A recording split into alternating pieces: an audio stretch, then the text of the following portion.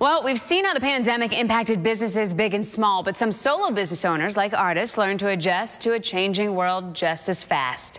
As we continue our series, The Rebound Tampa Bay, ABC Action News reporter Michael Paluska gives us a more in-depth look at how one local landscape artist is managing the pressure and keeping busy. It's been very good for my mental health.